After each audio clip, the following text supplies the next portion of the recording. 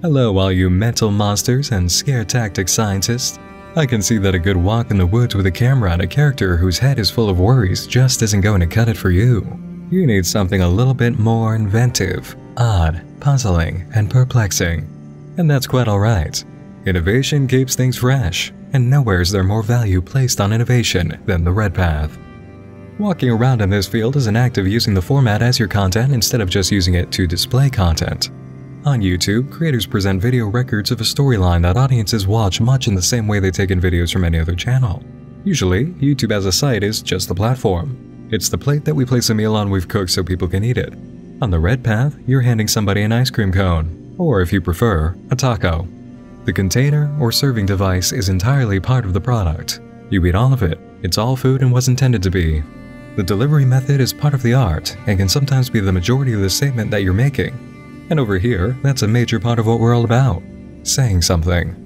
Instead of a viewer or participant understanding what the art says by watching from a distance as they would with a movie or a TV show, you're making them a direct recipient of the artistic message by involving them, like we sometimes get from a video game. The grand reveal in the first Bioshock game is a great example of this, but I think the best modern example would be Undertale. Your actions as the player character are entirely part of the message, and the way you feel about what you've done and the impact that you have on the world is the point. Participation is a huge part of Red Path artwork. On the Blue Path, we experience stories that tell us about other people and see how we relate to them. On the Red Path, it's much more about how we see ourselves and what can be done directly to us as audience members. Red Path gets a lot more personal than Blue just through the approach that we use and the content forms chosen. That's the possibility you have as part of this area, you can really get into somebody's head by engaging them, or you can just play around with format in a new way that mystifies an audience. I'll admit that when it comes to content I've covered on Nightmind, I've had more of a focus on blue material and the less complicated or multifaceted aspects of Red Path than, say, fully in-depth alternate reality game experiences. As much as I absolutely love the original Cloverfield ARG, for instance, I haven't stopped to visit those woods much. There are a lot of trees you've got to stop at, and those trees have a whole lot of leaves. Things like I Love Bees, the Nine Inch Nails Year Zero ARG, they have a lot of pieces that would take way more than one video for me to tackle, so I just haven't been able to visit them yet. But if that's what you're after, I understand entirely, and I'm happy to share that I'm well versed in that language too. Storytelling of that nature is much less about art and more about gameplay and intrigue, but what they lack in deep, introspective moments and statements about life, they do make up for in excitement. I would actually consider the secret plot to the Five Nights at Freddy's series part of that territory, for all the extra work that Scott Cawthon does outside of the game releases to keep that mystery in play. No matter what your aim is when it comes to how much heart or how much brain you want to put into your Red Path experience, the lessons of this territory remain the same, as well as many of the principles. You'll be using the resources at your disposal made available through the internet and technology to engage audience members on a much more direct, psychological level, building electronic mazes and traps that would make any Batman villain proud. I don't play any tabletop games myself, but from what I know of dungeon masters or game masters, if it's something that you're into, you'll have a pretty good shot at this field. I have only two warnings for you when it comes to choosing Red Path. If your cravings as a creator to be seen on a wide scale are quite strong, you might feel a little bit down sometimes. Your audience will most likely be way more into the game that they're playing or characters they're engaging with than the brilliance of what you've built, and based on what platforms you include in the experience, you might not even get that much natural exposure. Seeing how people playing into your experience feel about it on places like the Unfiction forum or subreddit will be a major thrill and a lot of fun, but they might be the only places you get that kind of high. The other issue you may have is much more difficult. I guarantee at least half of you who are aiming for more of a Wyoming Incident project and Poppy experience are going to deal with this. The complication of building your game and the complexities of it will get to you, and you might find that you're coming short on resources for what you want to execute, or even worse, what you actually need to make happen according to your plans. This is what stops a lot of people dead in their tracks and what kills many games. Hitting rough spots in the process where you don't know how to carry on the next part of the experience, or you just don't have the knowledge to pull off an idea. We're going to try our best on the Red Path course to troubleshoot these issues, but I won't always be available to provide direct advice in these videos. You'll need to do the best you can to fight through it. Thankfully, I've got an official subreddit that should come very much in handy to all of you for working out issues you may have and seeking advice from the community. I'll even be dropping in whenever I'm able to help out. With all of that addressed, let's get to outlining our field of play for Red Path territory. From the craziest of web series to the most expansive alternate reality games, there is a hardcore, steadfast principle that can be found in operation the aura of reality. Our field is very different from most entertainment in that when we play pretend, we go all in. We usually do not advertise our projects as works of fiction or entertainment, even if it's obvious that's what we're doing. We're not making movies or TV shows or games. We are making immersive, engaging stories that have a full sense of the platform they're being shown on and the audience who is watching.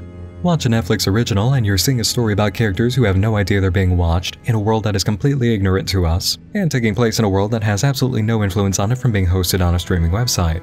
Watch a YouTube series and you're seeing characters who, in most cases, are completely aware of you and the website that they're uploading to. They know they're uploading to YouTube. The audience and the platform are part of the fiction, and by extension, the internet as a whole is the fictional world in which this all takes place. Therefore, we can't exactly advertise the experience if we want to keep that very powerful immersive effect. We're all attending a Halloween masquerade. Your costume is your character, and we all know we're playing pretend, but while we're here, we do not break character. Some of us play monsters, some of us are victims, a few are heroes and guides, and the rest of us? We're the witnesses to events, unwilling participants to shocking plots, and the playthings of a paranormal force. Audience members are part of the cast. Have you ever been to Universal Studios and taken part in a ride or attraction led by a park employee playing a role, acting as if they were in the fictional world built around them? Do you remember being treated as if you were legitimately part of the event going on? That idea is the entire conceit of our field. We're the Universal Studios of the internet. Whether blue path, red path, or yellow path, that is the mindset you need to keep. We don't have the means to produce something in the traditional television or movie areas, and it's not as fun to do anyway so we need to keep our make-believe atmosphere intact as much as we can. And if doing so means keeping in mind that your audience, your platform, your delivery methods, and the characters involved with all of that are part of the story, you come to realize just how much intelligent writing you need to do to pull off this trick. Writing is where any online storytelling project or alternate reality game lives or dies. If you can't justify it in writing, you've got a hollow piece that can be broken in a single line of criticism and leaves the project weaker. When you're at a role-playing masquerade, if somebody asks you about part of your costume and you can't justify having it with a solid answer, you are going to break the atmosphere. It's cool, right? It's not a valid response for your reasoning behind the actions that you take. You are not allowed to walk into this masquerade with a trinket on your costume and just have a backstory of, oh, I thought it looked cool. Why and how are the two most important questions for writing in this art form. Sometimes you don't exactly need to know how, but you must always, always be able to convince me with your reasons why. You need to know why a character chose to do a certain thing or say something. You need to know why they recorded anything they shot on camera or on a microphone. You need to be able to convince me with the reasons why they're uploading and why they chose a specific platform or format. Every choice you make for the execution of your project must be backed up by writing. If you cannot tell me why a character chose to do something, or use a certain website, or make a certain document, it's a weak point. And if your project is more alternate reality game than web series, you definitely need to back up everything in your writing, especially one particular thing people always ask me about that very few people ever seem to get right. We'll be visiting that one later, trust me, but remember this. Your ARG is like a Jenga tower. Have one bad brick in place, and a little bit of nudging will knock the whole thing down. Writing also matters extensively on the red path when what you're doing is an abstract piece. In Alantutorial, we could often infer the reasons why things occurred without even having it explained to us directly, and we understood the character's motivations for every action taken, including the use of YouTube and Twitter. Taking the internet forum for criticism in society of human behavior is prevalent in that Poppy and InfoChannel, and although both of those channels often come across as even weirder and harder to interpret than Alantutorial was, having the proper informed setup that can be discerned means viewers can and will discover the meaning of the art that was intended. Symbols must have meaning and reasons why they were chosen that connect to the idea. Colors and images must reflect the concept and make sense for their placement alongside events and characters. Even the font that you might use if text is needed has to be on the mark with your idea. Whether your reasoning is completely logical from the standpoint of a game and storytelling perspective, or entirely meant to serve concept and audience impression, you need to have a solid answer to why you made the choices you did in any circumstance. The answer must be convincing. It must be in line with what we know about a character concerns or the purpose of a platform you chose to use. It needs to make sense with your other answers and reasoning, and it can't contradict anything you've already set up. You need to explain why something occurred and how it fits, as well as Batman informing Commissioner Gordon how a villain's plot was formed and how he unraveled it. Or, if you prefer, you need to be Velma at the end of every episode of Scooby-Doo when they unmask the villain and tell the cops what the deal was. Basically, if you can start talking about the reasons you did something to me and hear the grand revelation music from the Saw movies playing in your head, you're covered. But how do we get to that point where it all makes sense and fits? How do we do that with online storytelling? Let's take a look. I think one of the best examples I can give for any Red Path person is This House Has People in It by Wham City Comedy. Abstract art approach? Boom, you've got it. Alternate reality game immersion? Yeah, you've definitely got it. This house incorporated a website for a false company, a fake database backend, and tons of files composed of videos, images, audio, and even a game to make artistic statements while immersing viewers completely. Reasons and writing can be found all over this project. The idea of surveillance, privacy invasion, and coming to conclusions about people based on outsider evidence is a big portion of the art we get. There's your abstract portion. We come across this through our actions as a viewer and participant, digging into a database for a company we don't belong to and spying on a family that we don't know. We look at the videos taken from inside their home, the collected evidence of pictures and audio files, and we use it all to judge them and come to conclusions. And you know, we could have had that just as easily through one whole YouTube channel upload of the videos found on the site, or the first video that aired on Adult Swim itself. But instead, we had game elements, immersion pathways to go down to become a real part of the experience. We looked up the AB Video Solutions website, we broke in, figured out how to work the database, and dug into all of the collected information. By way of our actions and the impressions that we got from what we saw, we embody so much of what's being said in the work. We become the snooping, insidious company inside the family's home. Creating barriers to access for the material and spreading it all out in pieces allowed Wham City to make a game that says a lot about us, a lot about people, and a lot about companies and organizations. This House Has People in It is a great example of a project about people breaking in. Meanwhile, InfoChannel is a perfect statement about somebody reaching out. An absolutely crazy television network that wants as many viewers as possible, believing they're the ultimate entertainment replacement. InfoChannel uses a very open website, Twitter, YouTube channel, Roku streaming channel, Amazon video availability, and now even Twitch live streaming to get as many eyes on them as possible. And what happens when you engage with InfoChannel? You get blasted with a load of nonsensical, overhyped garbage, an obvious parody of television and mainstream media. The ways InfoChannel is available and how it tries to engage you are its immersive pieces, and those are in themselves an artistic statement, while the content hits you with the abstract art in full. And finally, we have our middle ground, Knock 10. The artificial intelligence in the series is reaching out to us, but we also have to reach out to engage it. Knock 10 is a case of give and take. Once provided with awareness of this cryptic piece, it's up to us as the audience to decipher the coded messages and figure out who's sending them and why. The platform, YouTube, is the most open access point for 10 to get help from its place in the Marianas Trench. The coded messages are a way of disguising dangerous information that will only be revealed for those who are dedicated enough to solve them. It's also quite possible that 10 believes it's catching the eyes of a specific person who has been trained to decode its messages, but ends up adapting to a full audience once engagement occurs. Knock 10 is more blue path with red path elements, being that it's more so telling a story through coded means than delivering abstract art, but it can show you how to do that while having smart writing behind the choices made. Now, if it's more of the abstract side of red path you want, then abstractions is definitely what you're after.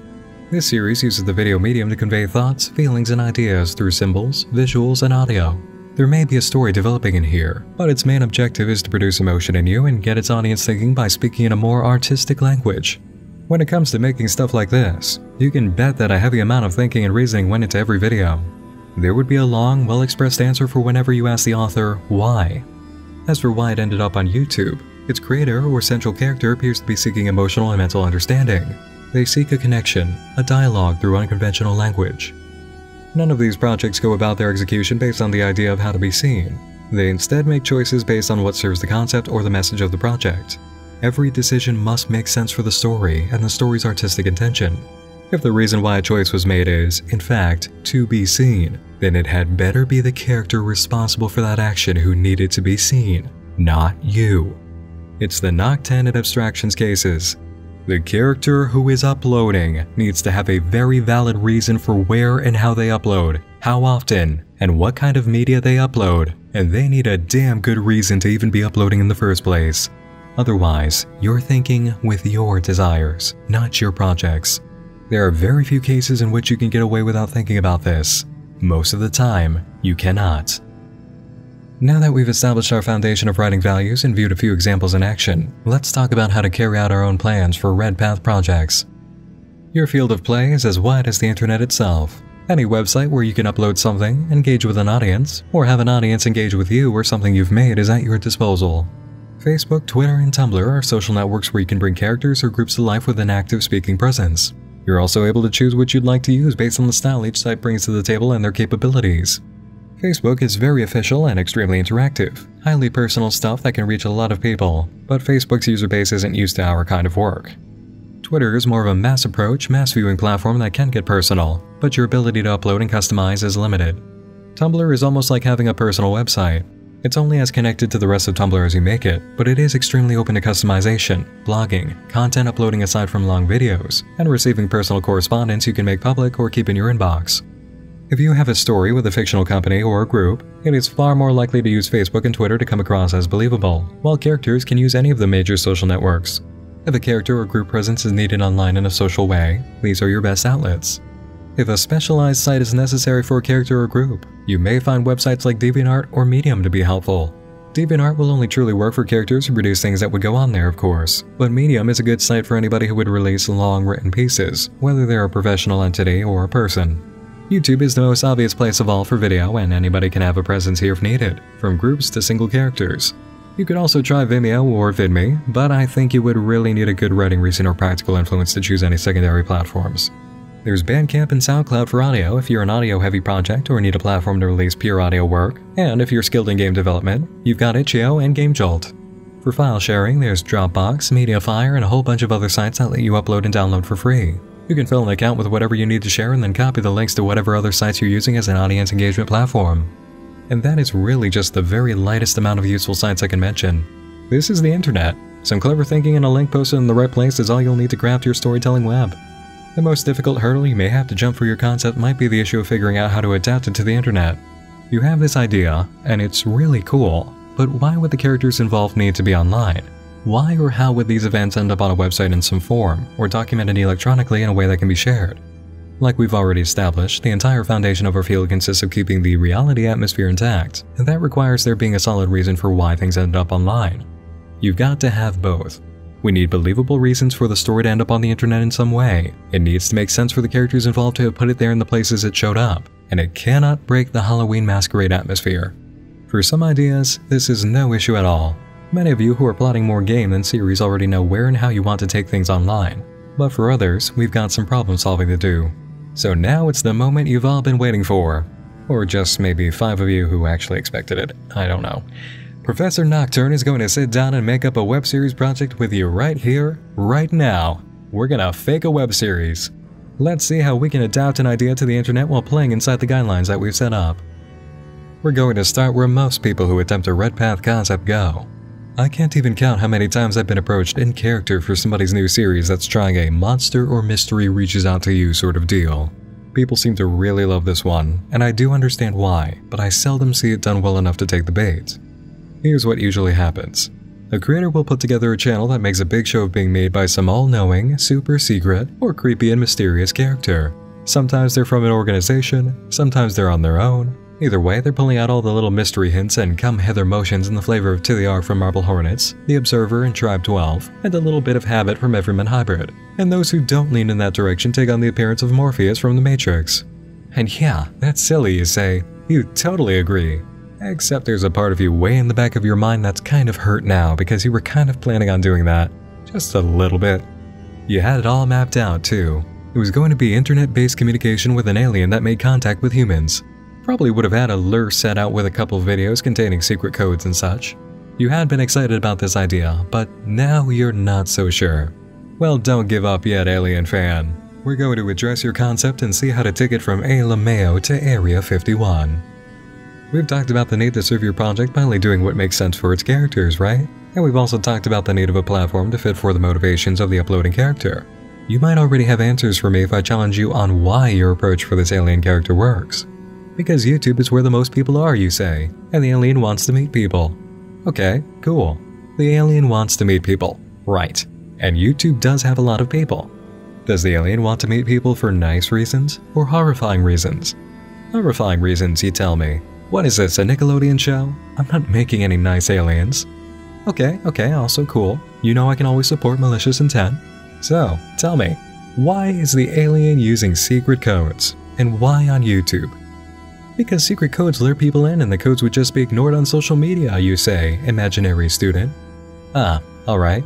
The alien is trying to lure people in with its secret codes. And you're using YouTube because social media would ignore them, huh? Why is that? Because they just see a bunch of weird text and maybe images and then scroll past it, but with a video they sit and watch. Yes, you are correct. With a video, they sit and watch. And as everybody knows, once you begin watching a video on YouTube, no matter what, you are locked in. You are absolutely invested and engaged in it despite its content and quality until the end, right? Yeah. Wait. No, actually, no. That's right. No. Because content matters. What is it that you actually changed up by taking your secret codes off of Facebook and putting them on YouTube? You can add colors, change some of the images we see, you can add spooky audio and sci-fi effects. You can make yourself a lot more mysterious and visually interesting. You can dress up everything around your content, make it pop a bit more. But if the content itself is still a vague message and a secret code, how enticed am I to go through the effort of solving it? And how likely am I to do that if, as a fan of web series, ARGs, and all manner of things like it, I see this stuff all the time in the middle of actually developed series I have mental and emotional stake in? Not very likely. There is exactly one way this old approach ever manages to work for luring in audiences showing us something new and promising with it. If this is your hook, it better have a hell of a lot of bait on it, because as a fish, I'm going to see the metal and the plastic line that's been tied to that suspicious free meal. Make me want to be stupid and take the bait when I can plainly see your intention. Mysterious, audience luring behavior is like the punchline to a joke. It almost never has an effect on its own. Very good punchlines can still get you or entice you to find out what the setup was, but it's not often that happens. People need footholds to get them in the door for an experience. It's why we have movie trailers. There needs to be an emotionally and mentally engaging lure beyond, ooh, that's creepy and or mysterious. We need something to get us invested. Despite what you may believe, secret codes are not the setup. They are the punchline. We actually get context and a measure of understanding a situation with some hint of a reward to come with the setup to a joke. In a secret code, we have no idea if there's even something worth the effort on the other side of the door.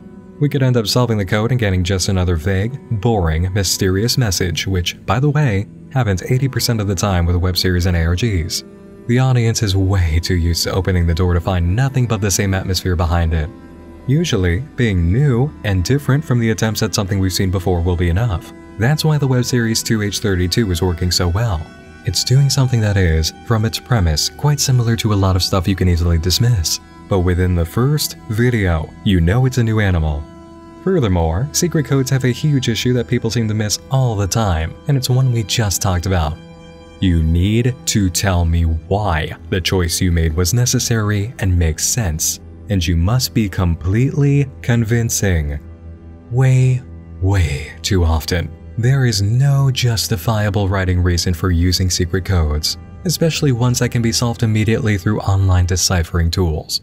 A secret code is not so secret when everybody can recognize base 32, copy and paste your message, click a button, and get the answer. There is usually one reason and one reason alone that people do this. They think the audience enjoys it. They think it will bring people in and make them feel rewarded. No, it's less thrilling than opening a fortune cookie. At least a fortune cookie is something you have emotional stake in because it's going to tell you about your life, and you actually came in caring about your life. When Marble Hornets used secret codes, it was exciting, and when Everyman Hybrid and Tribe 12 did this after, we stuck with it for a while. Then everybody started to do this, and most of the time, there was no justification for it in the writing. To be quite honest, I even have a hard time now defending the use of it by To the Ark and Marble Hornets. The Observer in Tribe 12 legitimately has more of a story reason for doing so, because he's torturing Noah with tedious work on purpose. To be antagonizing is his entire motivation as a character. But when To the Ark did it, the technique was very new and different, and if we stretch a little, we can use a bit of character motivation reasoning for it. But overall, its moment being shiny and new was what made it work. Now, it's overused and brought in for all the wrong moments and reasons. If your character is using secret codes, and your justification for it is luring people in, your character is fishing with bad bait, where they might as well be casting a line in the fountain at your local park. There aren't many practices I'm going to adamantly shake my head at, but the upfront use of easily broken, secret codes is one that I've really been waiting to address. Is there a time and a place for codes? Yes, absolutely 100% there is a place and a time for codes. And there is a web series where I've seen it done very, very well.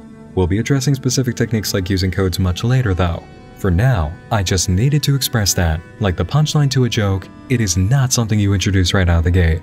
And now that I have, let's head back to our starting point. You've got an alien. They're online and they're trying to lure people in for a nefarious purpose. Secret codes are out the window when it comes to bait, and just like that, we have no immediate reason to use YouTube. Because even in a video, codes without emotional and mental stakes set up for them don't lure people in. What we're left with is an alien who's on the internet looking for a hunting ground where lots of people are. They've got to learn human beings using a method they think is going to work, but isn't necessarily that great because remember, it's an alien. It doesn't totally understand how people operate. Think like an alien, but also like a person who knows aliens aren't fully educated enough to pull this off without catching a real sucker. Let's go back to the drawing board as the alien and see where most human connection activity lies. Immediately, you'll focus on Facebook, and all of your study of human activity online will confirm the power of that website. If hunting is your chore, this is where you're going to find the wild game. So, you envision the alien setting up a fake profile, dressing it up real nice and tight, being as convincing as possible while still having a few mistakes here and there, and coming out with what honestly appears to be one of those fake porn star type profiles that sends friend requests to people out of the blue. The alien will think it's perfect, you will think it's painfully stupid, but you haven't used your night mind yet to take a look at the situation as it unfolds. The alien sends out friend requests in the area where it can proceed to study new friends. Most are rejected, some ignored, and a few accepted. Messages are sent out, seeking contact using basic human greetings expected from an attractive female of the species. So far, it looks exactly like spam. We now float to the other side of the computer screen where one of the recipients is reading the message. He checks the profile, sees that she's obviously some sort of information phishing scam or equally malicious thing, and leans back, arms folded. He's had these scam artists in his inboxes all of his life, and he has never interacted, always just deleted the messages. What if he has a little bit of fun with this one before he gets rid of them. See what makes a scam artist bastard like this tick. Make them play the fool for once. So he fires off a playful message and gets a conversation started. Moments later, a reply arrives, and it's not quick to the point on the scam. The hack is actually trying to fake a conversation. the guy can't believe it, so he shakes his head, smiles a little, and replies back. Ten minutes in, he is convinced of at least one thing. Whoever he's talking to did not learn English as their first language. They type very formally and their sentence structure is a little bit odd. It's a bit robotic. But he is intrigued. There's no request yet for a credit card, help to get them to the United States, anything like that. What gives? What is it you want? He finally asks the odd woman. Communication, she says. I wish to learn about you. Why? You don't know me. Not yet. Is that not the point? But why? You intrigue me. The man is confused, but slightly entertained. He says goodbye to the intrigued woman and logs off. Over the course of the next few days, he holds an ongoing conversation with her, and still, no spam or requests for personal or financial information. She's not looking for a home, she's just interested in him. And maybe, just maybe, she's legitimate? The man decides that he needs a couple of eyes to look this over and see if there's anything he's missing in the situation. He turns to the one place that he can always trust Reddit. He pulls up the Let's Not Meet subreddit and opens a thread about his situation, writing up a summary of the story so far and posting screen caps of the dialogue with the mysterious woman. The Redditors of Let's Not Meet are intrigued. Most think that this is definitely something bad, while others joke about sending a message to the lady themselves. Honestly, she might enjoy that, our main character writes. Let me ask her if she wants to make some new friends. He sends a quick message. The reply comes within two minutes. Yes, new friends of yours would be amazing. Do not use the Facebook though. Please, do send emails. She then provides an email address for the Redditors to send correspondence. And sure enough, some brave souls do. Replies come back to all within a few hours, full of the same strange, formal, not quite right manner of speaking. All messages want to know the same thing. Can you answer some questions for me, please? Those who respond positively receive a PDF file they can edit asking all sorts of information, but nothing too invasive. First names, no last names, sex, age, orientation, appearance, all sorts of information, but nothing that could necessarily be used to track a person down. A few send messages with completed forms, I'll receive replies back, but some of the readers from Let's Not Meet are rejected. I apologize, but I must not continue conversation for you. I thank you for speaking with me, all the rejection notices say. The others receive information to send friend requests to specific women on Facebook, all of whom appear to be more accounts that look fake. But for those who follow through, the women are real. Or, at least, whoever's typing from behind them are, and they all talk in the same robotic, formal, not quite native manner. Something weird is definitely going on here. If this is a scam, its purpose is entirely unclear. The chosen Facebook friends decide to open their own subreddit, Circle of Nine, for those who follow through on the weird experiment. They report all their findings with each other, operating a full blown investigation into what's going on. Any dialogue with the Facebook women is shared. Something really is happening, but nobody can figure out what. Five days after the subreddit opens, all nine members receive the same email at the same time from the same website. We, your friends, are all together now. We invite you to join us at this location and this time. Our learning has only just begun. Do you wish to learn from each other?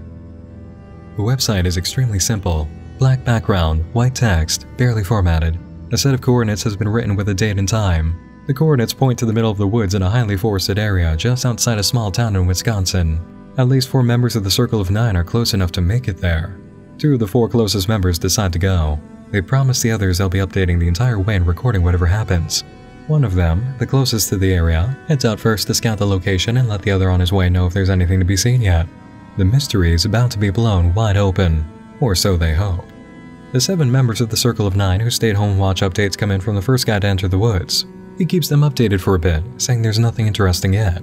His final update post comes 18 minutes before the meeting time posted on the site. Those online flood him with messages, but no replies are sent. The second man has arrived five minutes before the appointed meeting time, his friends online urge him not to go in, but with one of their own out there and unresponsive, he feels compelled to head inside. If that guy is in danger, then he needs help. They're all in this together, like it or not. Leave no man behind. He heads into the woods, a flashlight guiding his way, until at last arriving at the precise coordinates point. He's recording his entire journey, broadcast live to Twitter through Periscope. There's nothing to be found, except a camera lying among the leaves in a small clearing. He picks it up, examines it, sees the dirt from the impact that came when it was dropped, and knows it's time to go. The man sprints from the woods with the camera he recovered, still broadcasting to indicate that he's alive and on his way out. He slows down when the headlights of his truck finally come into view in the distance. His friends cheer him on, a hero among men. That's when we hear a muffled scream and the phone goes flying out of his hand. The broadcast ends after two minutes of darkness that are filled with the noises of struggle, screaming, and machine sounds. None of the viewers end up getting much sleep that night. One in particular, the man who is the third closest to the coordinates, doesn't sleep at all. He decides to map out the length of travel to the site of the incident online and plans his projected time of arrival with the full break of dawn. He keeps a close eye on his phone, continuously checking the time, and then leaves on the mark with his camera in tow, as well as a couple of weapons. He needs to go to the scene. This was his fault. He was the man who posted about the woman from Facebook on the Let's Not Meet subreddit. Two innocent guys might be dead because he wanted to see how far an experiment could go. When he reaches the site, he sees the second man's truck from the Twitter broadcast sitting exactly where he left it. The headlights are off now, his battery drained. Just about 50 yards into the woods, the man's cell phone can be found, smashed beyond any repair, and lying next to the first investigator's camera. Our third man, the original poster, takes the camera and phone, heads back to his vehicle, and goes home. He's not exactly great at video software, but he knows enough to compile screenshots and text that summarize the entire story, from the first message on Facebook to this very morning. He uploads it to YouTube, and after talking to the rest of the Circle of Nine, holds off on uploading the footage from the camera. But one by one, members of the Circle stop showing up on the subreddit. Any attempt to contact them is met with silence. Those who remain begin to panic, especially because all the accounts of the women online disappeared the morning after the meeting in the woods, so there's no one they can gain answers from. Emails that are sent to the website address are met with the same response. We unfortunately missed you at our scheduled gathering. Thankfully, we may come to you. We shall see you soon. Once the circle of nine dwindles down to three, the original poster uploads an update informing us of the situation. He also uploads the footage of the camera, which contains exactly the kind of video you expect. Man walks into the woods at night, man looks around nervously, man gets violently abducted by aliens.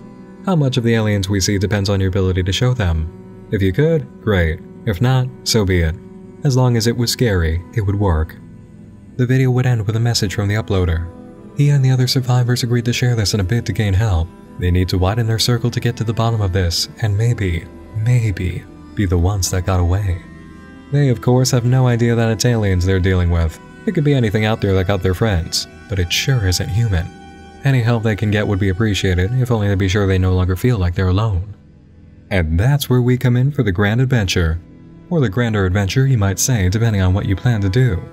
At this point in our hypothetical project, if you were the creator, then you would have a YouTube channel with a major hook, backstory on events, and the perfect foundation of role-playing atmosphere, uploader motivation, and logical sense for existing. A subreddit in which only three of the original accounts that are part of the story technically need to be active, which you as a single person could totally pull off by switching between them.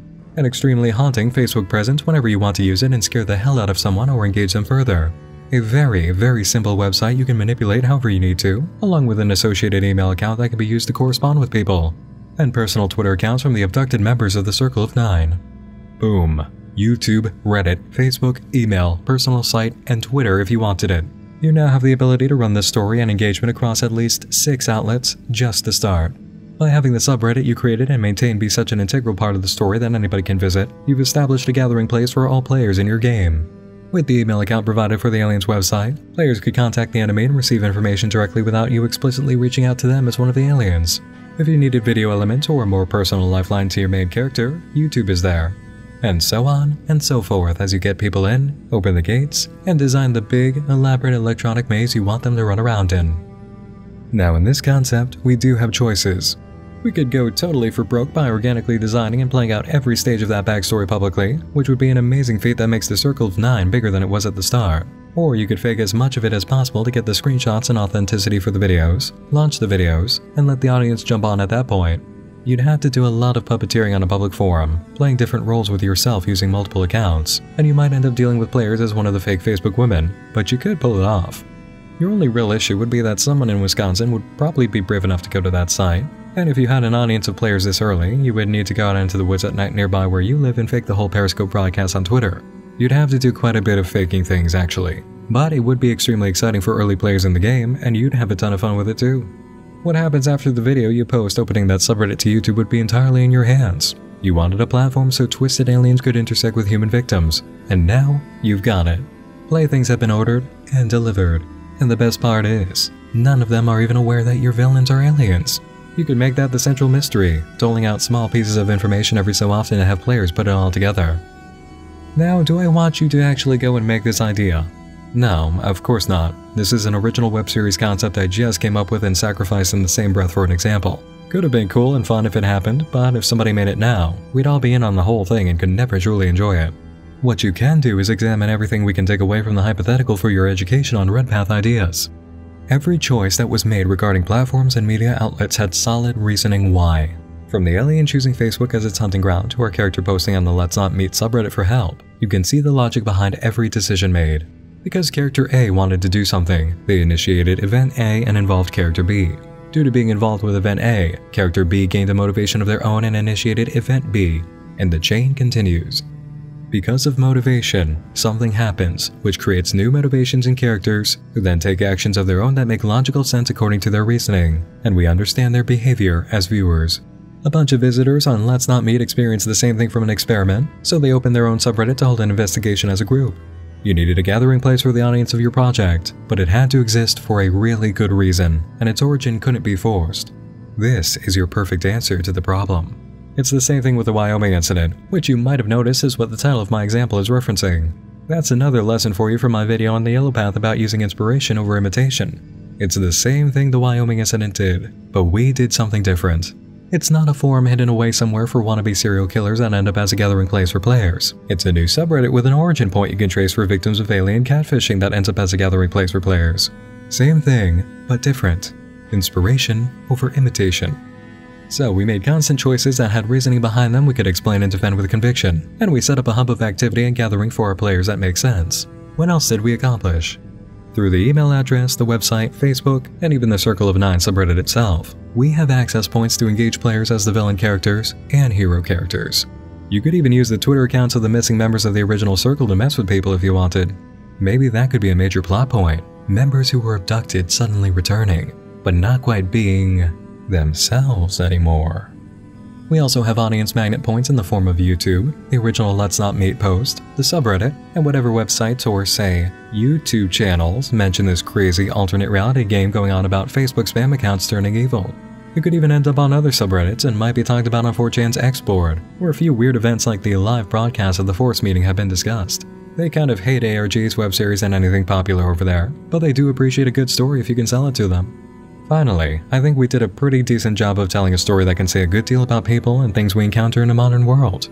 From the way we interact with people online and the ability of strangers to come together against evil, there's a bit of art already visible. I'm sure more would have come of it had the project been a genuine thing.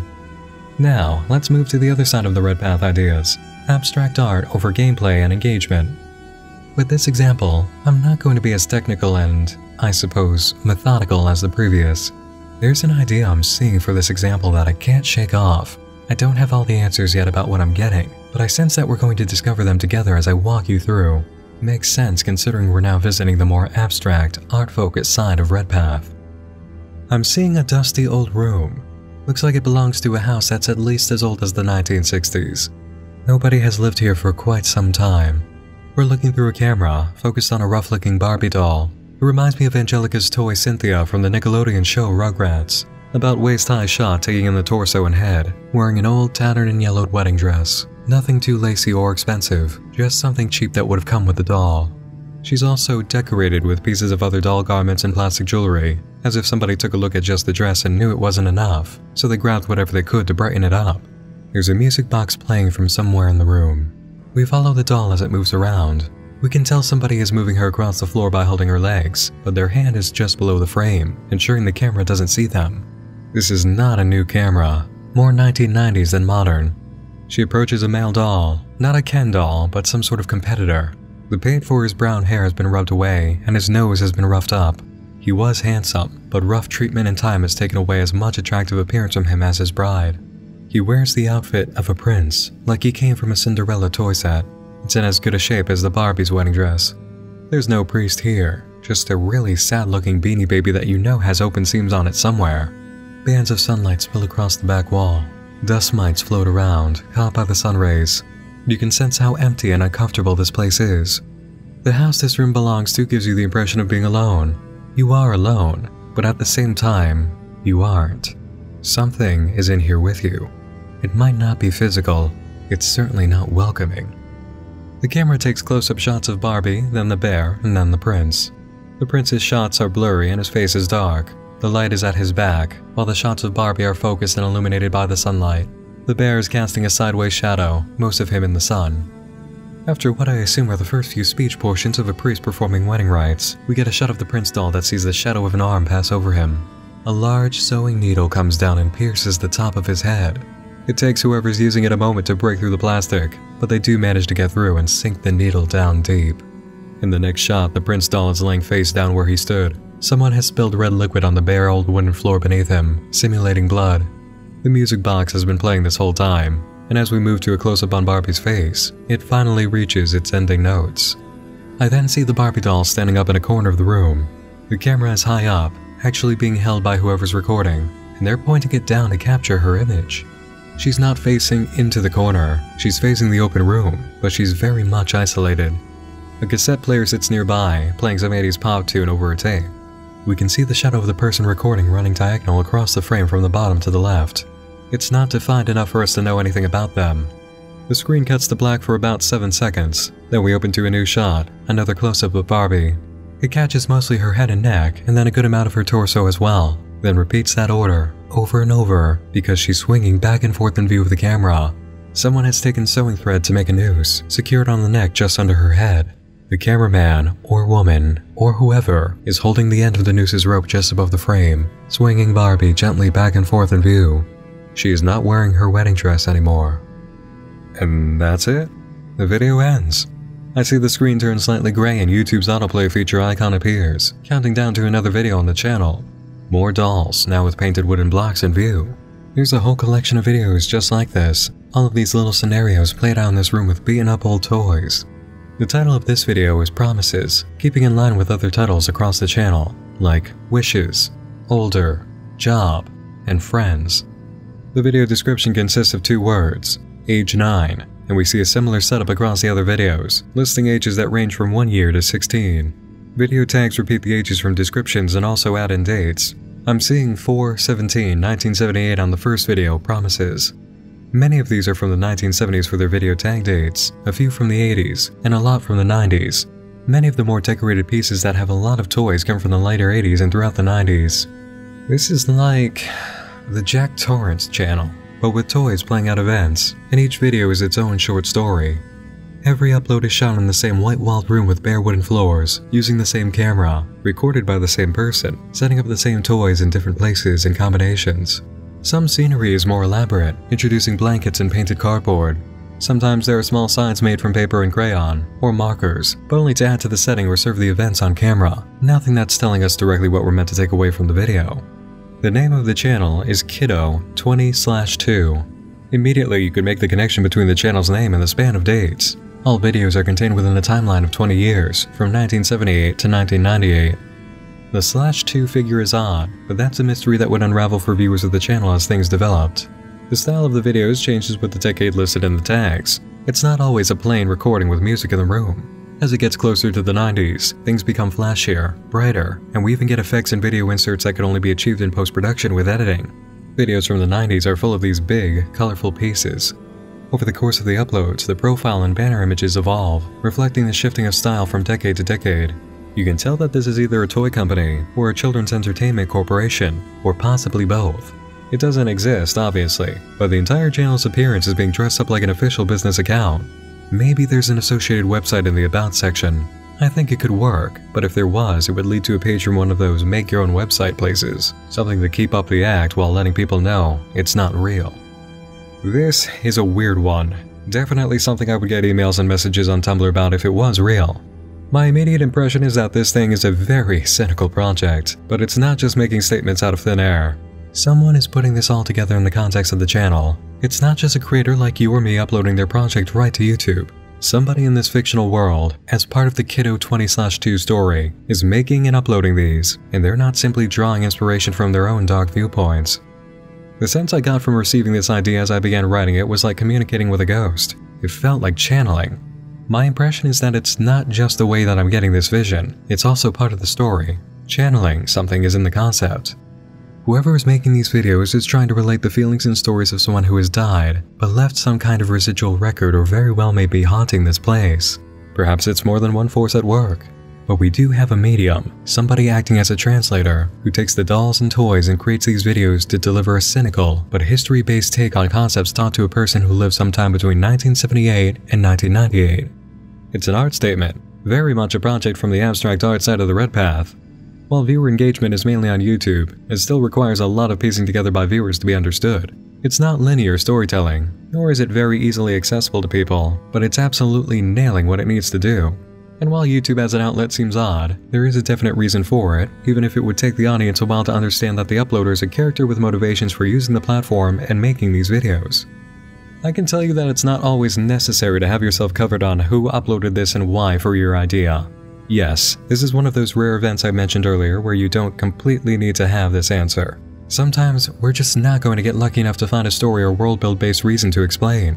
An idea can be so powerful on its own at times, and the content and everything in it so good and thoroughly backed by writing, that at the end, you've just got to shrug and say, you know what? I can't handle the immersion aspect of the platform I'm using and my upload method. It's not possible without me forcing it. And that's quite alright. You don't have to go all in by actively spreading around word of your project as fiction or an online art installation. Merely let it be, have it exist as itself, and viewers can speculate. Maybe they'll fill in the blank with something genius that you didn't find as the connection and it can be adopted as canon. Quite often, Red Path artwork is begun by a creator, but added to by the audience. What matters is the service to your idea and how well you execute what it's calling on you to do. Feelings provide instruction, and intuition acts as a guide. As long as you can stand back, observe the creation along its building session every once in a while and say, yes, this makes sense in its own context and in the context of the whole story, then you're good. The language of symbols, metaphors, visuals, and audio are quite open to interpretation. Only you will know for certain if it matches your emotional and mental understanding of something while also being accessible enough to reach most people. There can be cultural barriers, language barriers, even age barriers, and just pure inabilities to comprehend what you're saying with visual means. But if it works for the concept and you know it, go ahead. I think that about wraps up our introductory exploration of the Red Path. As you might be thinking right now, there are specific and even really technical things to cover in this area that we haven't gone over, but that's why this is only phase 1 of the Red Path course. Got to know the layout of our building before we assume responsibilities and get to work. This is only our first day on the job. I'll be going through the comments section to find any questions you may have about our field. Please do ask away if anything's on your mind, and I'll be happy to answer if I'm able in a comprehensive video. As previously mentioned, I'm proud to announce that I have an official subreddit dedicated to the Night Mind channel and discussion of everything on it, related matters, and of course, the topics being covered in this course. Go to r slash nightmind and talk about your ideas, issues you're having, thoughts that cross your mind, and your progress with other viewers who are taking the journey to become creators. I'm even an official mod, so I'll check in to see how things are going and help out. And if you're somebody who enjoys Discord servers, the r slash nightmind community has one, so you can interact in live time. These communities are official. Consider them the public meeting grounds for Nightmind enthusiasts. If help is needed for any branch of your journey, you're likely to find it here. Thanks for joining me in the dark again this evening. Once more, I'm Nick Nocturne, and I'll be seeing you again real soon. Enjoy developing your ideas and discussing studies with your fellow students. Class dismissed.